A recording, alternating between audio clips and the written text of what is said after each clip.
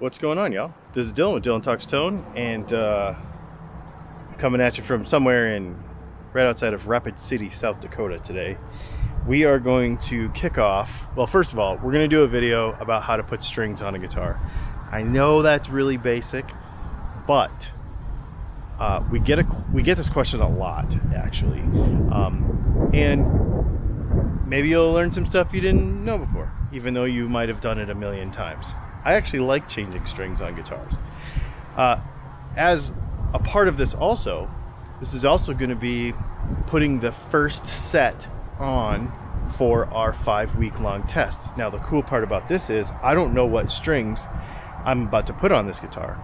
Right now, Leslie is inside opening up a package of strings, not telling me what it is, and she's just gonna leave those strings on the counter next to the guitar so I won't have any packaging clues, nothing like that. Those are the strings we're gonna use for the how to put a set of strings on a guitar, uh, how to part portion of the video. And then what we're gonna do is we're gonna play it a little bit, we'll record it a little bit, and get the intro. Are you good? Awesome. So she has opened the set of strings and put it on the counter. I don't know what brand they are. I don't know what the packaging looks like. None of that stuff. So, uh, like I said, when, when we get it all done, we get the strings on the guitar, then we'll go ahead and play kind of our opening with whatever this brand new set is.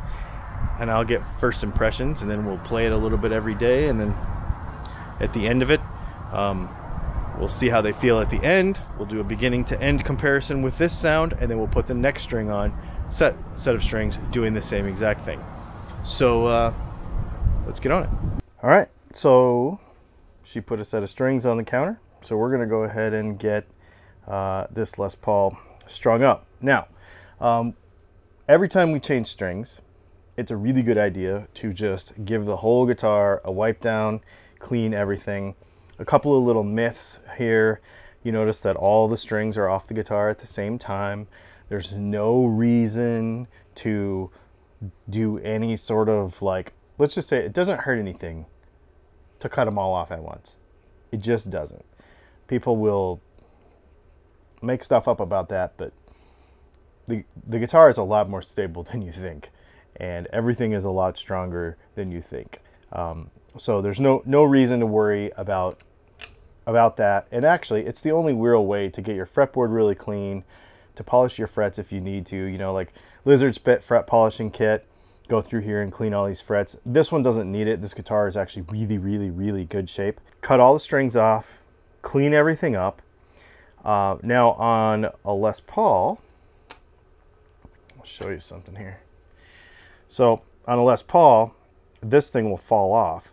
These actual, this um, little clip in here though on this particular Epiphone allows it to be able to be held on so you don't have to worry about it falling off which is pretty cool. But I actually like to take it off. So here's what we're gonna do.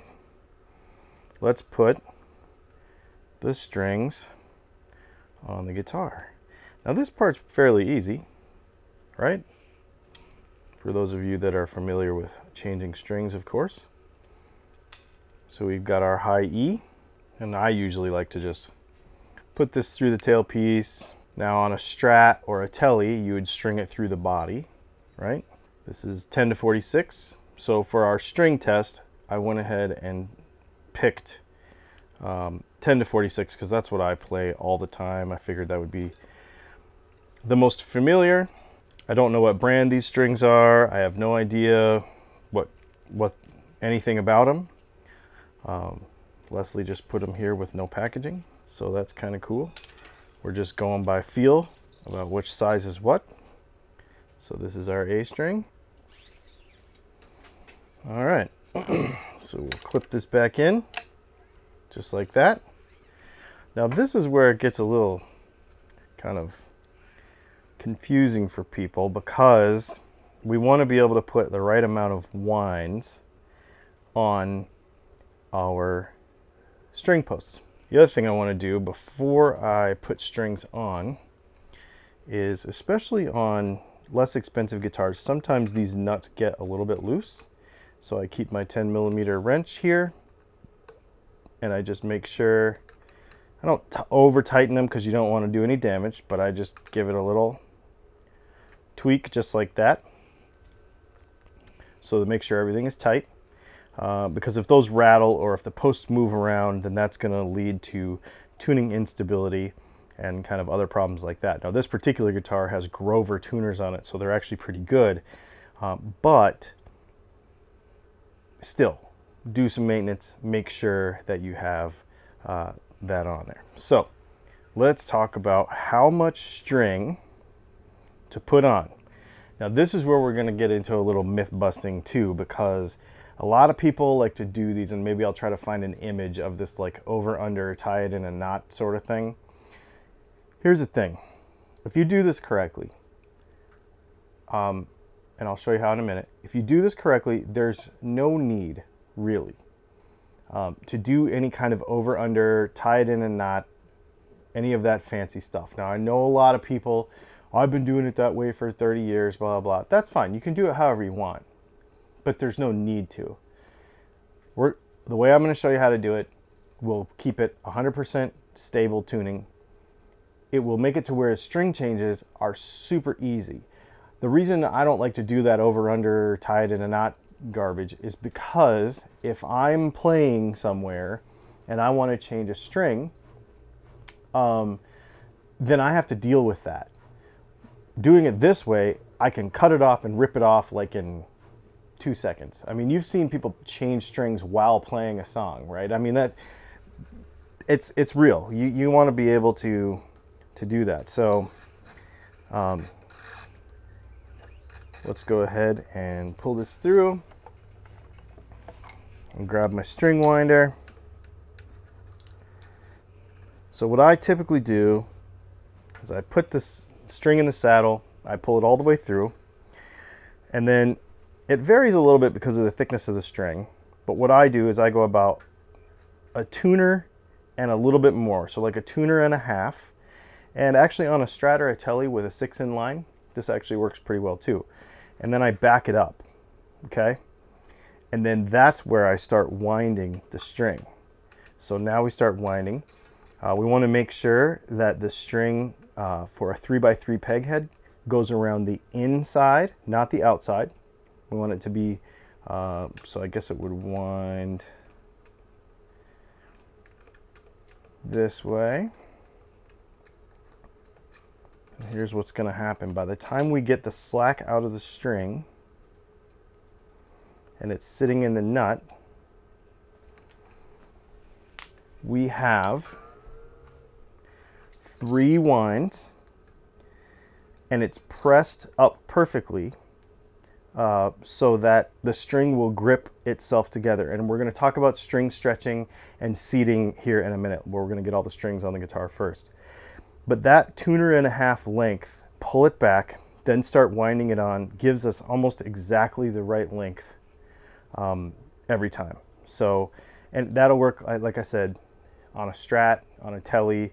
Um, the distance between the tuning keys is fairly similar, so it's pretty close. And so that's what I, I like to do. Um, here's the thing. People talk about locking tuners being, you know, you have to have locking tuners for tuning stability, all that kind of stuff. Locking tuners are convenience, nothing more. Um, they don't introduce tuning stability as long as you're putting the string on the guitar correctly. Doing it this way gives us enough wraps for everything to lock together and be stable, which is 100% important. But it also um, makes it to where there is no doubling up. So what we don't want to have happen is we don't want to pull the string so far back that now we've got the string wrapping around multiple times and piling up on each other. And then all of a sudden you have this coil that has to expand and contract all the time. Um, and that will cause tuning stability problems. Three winds is perfect. There's no nut, there's no knot that needs to be tied. There's no over under, none of that kind of stuff. This will not slip. And I'll show you how to make sure of that in just a little bit. So let's go ahead and do the same thing with the other two strings on this side.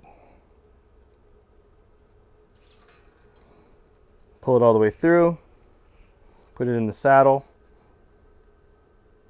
tuner and a half, back it up. Around the inside. And I like to just use my finger there to guide it on to the correct way.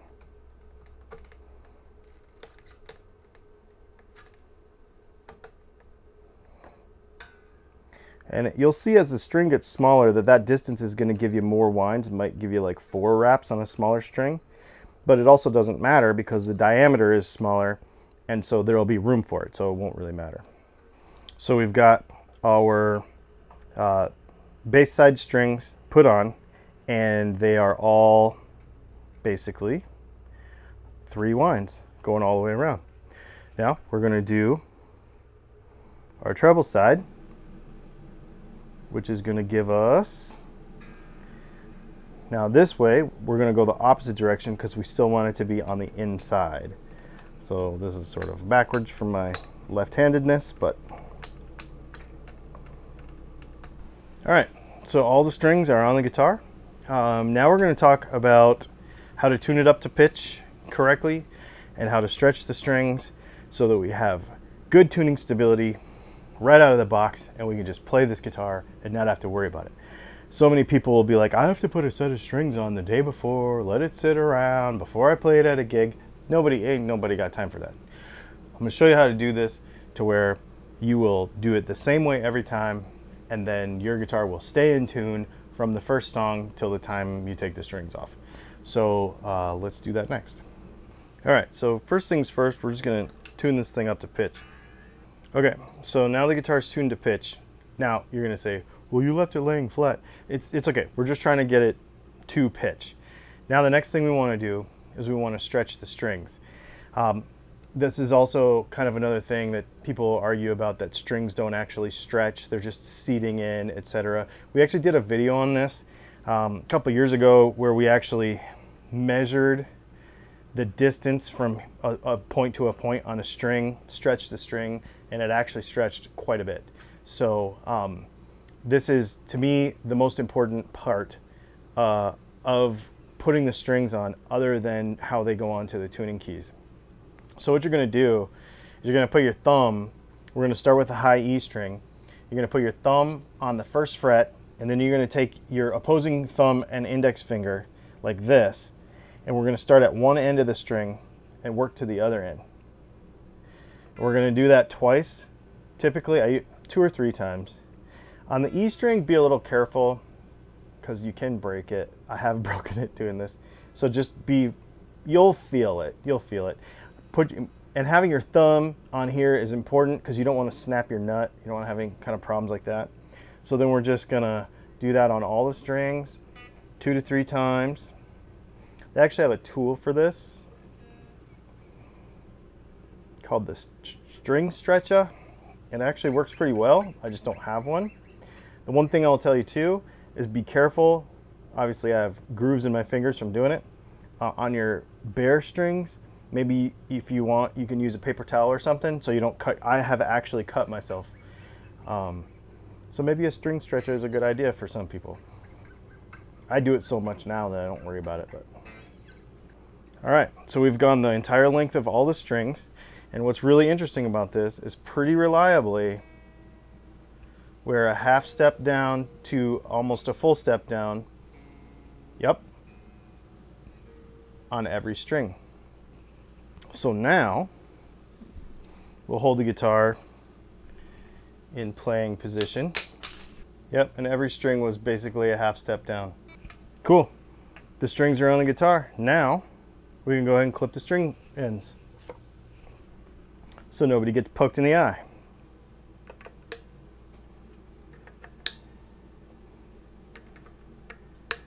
All right. Um, Cruz Tools string clippers, the best. Not gonna lie. All right, so there we go. So the strings are on the guitar. They are stretched and the tuning stability will not be a problem. We'll be able to play this guitar all week. Um, I'll be able to start playing it right now. In fact, we're gonna do that. We're gonna go get an amp and we're gonna do our sound sample A for our new strings and then I'm gonna start playing this stuff um, all week. So hopefully this helps out. So let's hear what these strings sound like when they're brand new. Again, I don't know what they are. I don't know what brand they are, uh, anything about them. We just want to get an unbiased kind of opinion, and I'm going to play them a little bit for five. I'm going to play them every day for five days, and then take them off and put another set on, kind of do the same thing, and see what our favorites are. You put your comments in the comments as well about what you think, how they sound. I'm going to use the same profile. We're going to use the same sound. We're going to use the same everything every day, so it'll be easy to compare. So let me grab the Kemper and let's do that.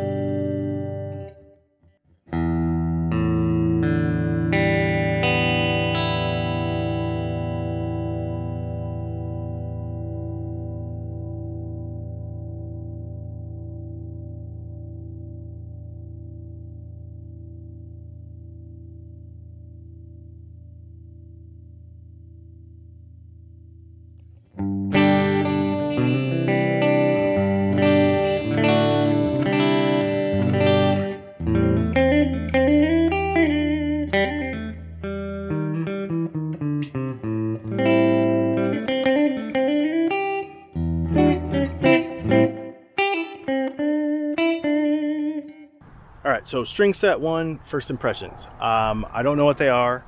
Um, I played them for about, I gave you just those clean chords. You know, we'll do that probably the same way every time, um, or as close as possible anyway. Uh, I played it for probably another 30 minutes after uh, what you just saw. And my first impressions are the string tension for this set is a little bit higher than like the Ernie balls that I always play. Whether that's good or bad, it's no big deal. I just want to mention that I can definitely feel that the string tension is a little bit higher, um, even though they are 10 to 46. Everything we're using is 10 to 46, but sometimes they just feel a little different. Um, they're not noisy. They don't make a lot of slidey sounds, uh, which is pretty cool. And they stayed in 100% tune. Like I said, um, when you put them on the guitar correctly and you stretch them correctly, I played for a half an hour, checked it every five or 10 minutes, and never had to change anything. Like they stayed in tune the entire time. Um, volume is good, feel is good. I like them. They're good. They're they're good. We'll see how they last as I uh, play over the next five days. So there you go. If you have any questions or comments you want to add, put them in the in the comments below. Um, we'll put links to all the strings that we're using in this test. If you want to buy them and try this at the same time as me, you can do that. That would be awesome. Um, and last month's video uh, for guitar setup is now available on our Patreon to our $10 patrons. The the one we our special class. So you can check that out. And also, uh, we've got a bonus class coming next week for those of you uh, that are on Patreon as well. So uh, this coming Sunday, on the last Sunday of August. So I can't believe that's actually happening. But there you go. Thanks for hanging out, and uh, we'll see you later this week.